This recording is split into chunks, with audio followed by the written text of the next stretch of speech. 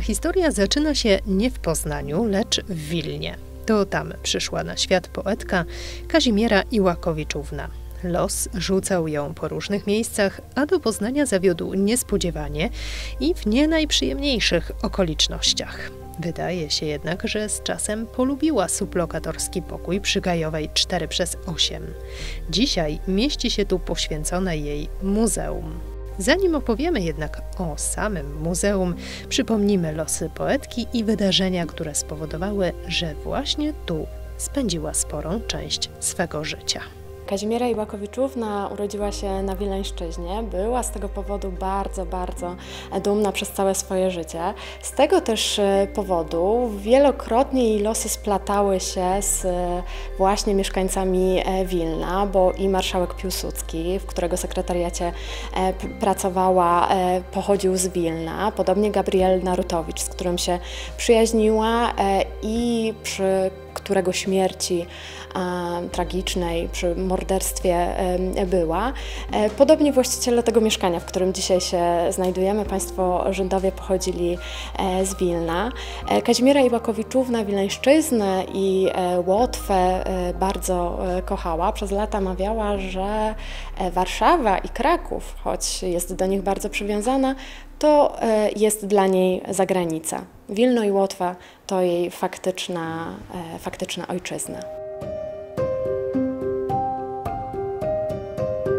Los nie pozwolił jej jednak w Wilnie pozostać. Najpierw rzucił na Łotwę. Zamieszkała w domu swojego wuja, Jakuba Iłakowicza, e, a stało się tak dlatego, że bardzo szybko straciła e, ojca.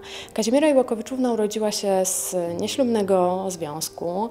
E, Barbary Iłakowicz, jej matki oraz Klemensa Zana, który wtedy, kiedy spotykał się z Barbarą, był żonaty. Równolegle z obu tych związków rodziły się dzieci.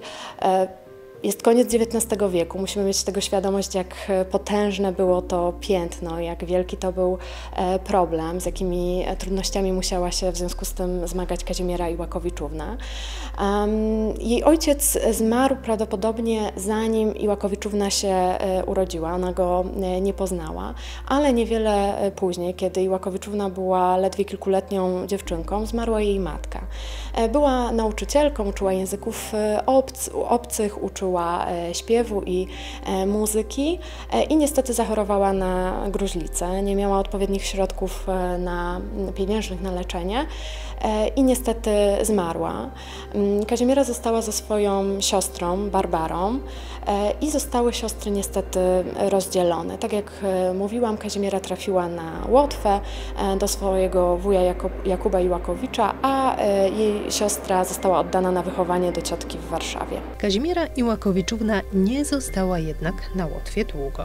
Dlatego, że e, dowiedziała się e, o niej Zofia Bujnos-Platerzeberków, hrabina, która w swoim majątku urządziła coś w rodzaju domu dla e, sierot. Zabrała Iłakowiczównę do Stanisławowa i tam postanowiła ją wychowywać. Uczyła ją przeróżnych rzeczy, zarówno takich praktycznych umiejętności jak cerowanie, ale także dbała o jej e, wiedzę z różnych zakresów. Przede wszystkim dbała o to, aby Iłakowiczówna uczyła się języków e, obcych i później łożyła właśnie e, na jej wykształcenie. I w związku z tym Iłakowiczówna uczyła się najpierw w Warszawie, potem w Petersburgu.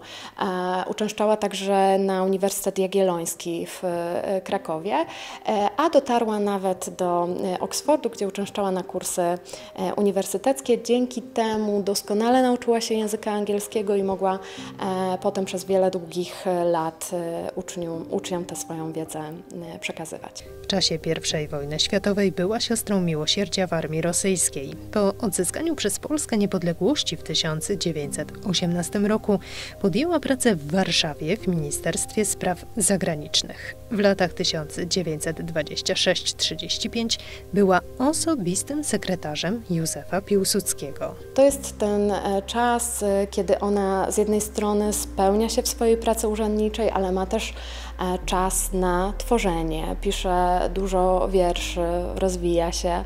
Jakkolwiek Iłakowiczówna deprecjonowała tę swoją pracę literacką i nigdy nie chciała być nazywana wielką poetką, bardziej ceniła sobie ten swój fach urzędniczy niż pracę literacką, to wtedy powstają te jej najlepsze dzieła. Po wybuchu II wojny światowej ewakuowała się wraz z innymi pracownikami ministerstwa do Rumunii. Bardzo, bardzo trudny moment. Iłakowiczówna długo nosiła się z tą decyzją, czy faktycznie e, wyjeżdżać. Oczywiście otrzymała, jak każdy urzędnik, e, takie polecenie, aby ewakuować się do e, Rumunii, ale mogła z tego wyjazdu zrezygnować. Natomiast równałoby się to z utratą pracy.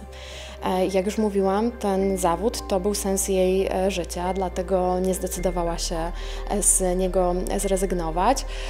Jeszcze 17 września była przy granicy i wahała się, czy faktycznie powinna ją e, przekraczać. W ostatniej chwili, e, kiedy już ZSRR napadło na e, Polskę, jakiś dyplomata wziął Kazimierę Iłakowiczównę razem ze sobą i ona tę granicę przekroczyła. I trafiła dosyć prędko do Klużu. Ona absolutnie nie chciała być razem z innymi uchodźcami internowanymi w obozach, dlatego że nie zniosłaby tej bezczynności. Wyjeżdża do Klużu. Znała już wówczas dosyć dobrze język rumuński, dlatego że e, za czasów pracy i w Ministerstwie Spraw Zagranicznych, i w Ministerstwie Spraw Wojskowych sporo po Europie e, podróżowała i zaczyna tam e, szukać pracy. Mm, oczywiście wykorzystuje po raz kolejny swoją doskonałą znajomość wielu języków e, obcych e, i tam właśnie e, uczy dzieci, na przykład gubernatora mm, Siedmiogrodu języka angielskiego, języka rosyjskiego. Na uchodźstwie spędziła 7 lat. Gdy wróciła, postrzegana przez komunistyczną władzę jako przedstawicielka przedwojennych elit, miała ogromny kłopot ze znalezieniem etatowej pracy. Marzy o tym, żeby powrócić do pracy w Ministerstwie Spraw Zagranicznych. Ona już będąc w Siedmiogrodzie wysłała sześć podań o pracę do Ministerstwa Spraw Zagranicznych, a kiedy już jest w Warszawie, to próbuje e, załatwić to osobiście, e, ale tam boleśnie przekonuje się, że sytuacja w Polsce bardzo się zmieniła. Przed wojną była przecież Iłakowiczówna bardzo szanowana, podziwiana, sekretarka marszałka e, Piłsudskiego, osoba bardzo e, istotna. E, natomiast po wojnie rządzi już inny rząd i nikt nie chce Iłakowiczówny do pracy przyjąć. Ona się nawet udaje na rozmowę z Wiktorem Groszem i on jej tłumaczy, proszę pani, pani była sekretarką w rządzie san sanacyjnym. To jest rząd socjalistyczny, nie mamy dla Pani zatrudnienia. I Łakowiczówna dziwi się bardzo, bo e, uważa, że mm, jednak kompetencje, wiedza, umiejętności, doświadczenie to jest to, co powinno decydować o tym, czy ktoś miałby szansę na e, zatrudnienie w ministerstwie, e, a nie sympatie polityczne i jakaś trudna przeszłość. E, no oczywiście nie udaje jej się e, grosza e, przekonać i kilka dni później mm, dostaje oficjalną informację, że nie zostanie zatrudniona w ministerstwie. Mm, nie znajduje też innego zatrudnienia. Stopniowo czuje się w Warszawie jak persona non grata i decyduje się na wyjazd do Poznania.